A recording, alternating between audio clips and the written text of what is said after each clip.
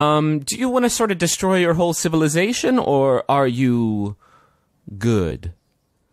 And well, there's maybe a better way to phrase it than that, Lup. Yeah, not a great sales job, Lulu.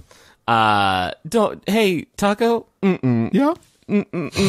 she gets really like right up, like face to face. I get it. Well, let me take a shot at it. Um.